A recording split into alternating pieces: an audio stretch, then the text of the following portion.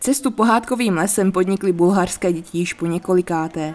Také letos je zde čekala plejáda čarovných bytostí, které měly v zásobě spousty úkolů, jež děti museli splnit, aby prošli dál a zažili správné dobrodružství. To si pro ně nachystal svaz žen, který dětský den pravidelně organizuje.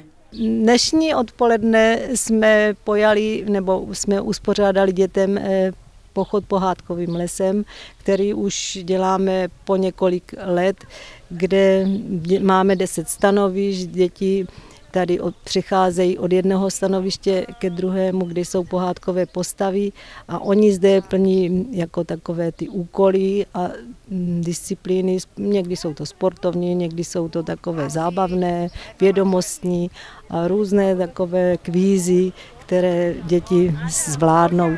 No a za to samozřejmě dostanou tu odměnu a děti tady tuto naši akci navštěvují strašně rádi, protože vytáhnou své rodiče ven do, na tu trasu a jako po celý rok se na to těší. Dnešní účast je eh, jako, jak, jak vždycky každá naše akce velmi navštívená, takže podle součtu lístku, který jsme vydali, tak je tu 109 dětí, které prošli tou trasou. No a samozřejmě jsou to i menší děti v kočárcích, které tady ty disciplíny, které tam byly na trase, teda nedělali, ale byli, prošli nebo provezli se kočárkem jako tím lesem a, a poté stezce celé. Pořadatelé, kteří se tematicky také oblékli do pohádkových kostýmů, si pro místní děti nachystali 3,5 kilometru dlouhou stezku, která vedla z vesnice přes les kolem řeky zpět do kulturního domu, kde děti dostali za odměnu občerstvení a chladivé nanuky. Náročnou cestu v parném dni zvládly děti všech věkových kategorií lehce a s úsměvem na rtech. Maruško, já se tě tam, jak se ti tady dneska líbilo a co tě nejvíc bavilo dělat za úkoly? Mně se líbí, mně se líbí ty končci. Jak se ti tady dneska líbí? Prošla jsi celou tu stezku? Jo. A které úkoly tě zatím bavily nejvíc? Uh, Bob a Bobek a kočka s pejskem. A těšíš se, až tady projedeš na koníčkovi? Jo. Prošli jste si tady dneska celou tu stezku? Uh-huh. Ano. A co vás nejvíc bavilo dělat? Koníky. Koníky. Jak se ti to líbilo? Bylo to dobré.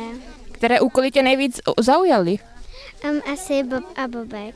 A už jsi tady projela na koníkovi dneska? Ne. Těšíš se? Ano. Hlavním úkolem dne bylo projít pohádkovou trasu, na které děti potkávali postavy z pohádek. Na deseti stanovištích museli splnit sportovní, zábavné, ale i poznávací úkoly. A je tu někdy jedovatá houba. Zamáváš, rozloučíš se. Muchomůrka, výborně.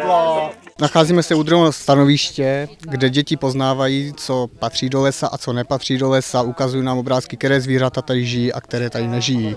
Aby viděli prostě, co ten les jako obohacuje se a aby tady nedělali nepořádek a takto, aby jsme jich učili k tomu, aby byli v lese čistotní a tady toto. U kterého stanoviště se nacházíme a co tady děti musí splnit za úkoly? Takže momentálně se nacházíme u stanoviště číslo 6. Máme. Což je stanoviště Boba a Bobka, jak zřejmo.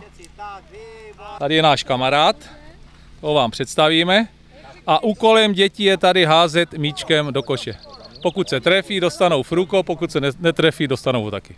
Na jakém stanovišti se nacházíme a co tady děti plní za úkoly? Tak, nacházíme se na stanovišti číslo 7 a děti tady plní úkoly, e, musí vybrat, buď co dortu nepatří, jakože když tam máme mydlo a takto, je musí vybírat, a nebo co tam do dortu patří. Vyberou tady vlastně, co máme na dece, třeba cukr a mouku a takové hlavní ingredience vlastně, co má být, no.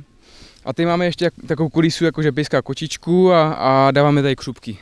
Pořadatelé si pro děti připravili den plný zábavy a na jeho organizaci si dali záležet. Děti se v rámci dobrodružné stezky mohly projet na koni a vidět tak svět koňského hřbetu. A na některých stanovištích si pro ně organizátoři nachystali také krátké vystoupení.